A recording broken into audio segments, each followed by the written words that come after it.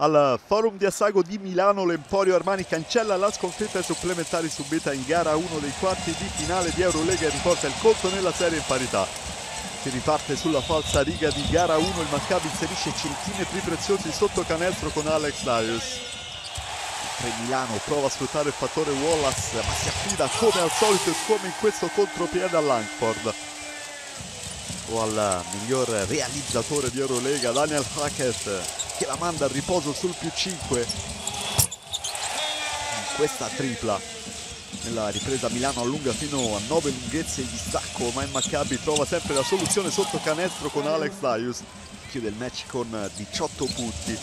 Supremazia di Milano però non è mai in discussione quella tripla di Christian Kangur. Fa volare l'Emporio a più 15 poi Hitman trova una giocata pazzesca. Corcia meno 12 stacco del Maccabi.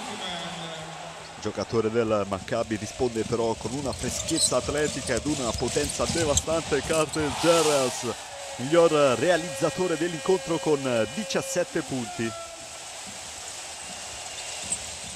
sul più 15 per Milano poi Hickman è bravo furbo rubare questo pallone andando a schiacciare in solitaria.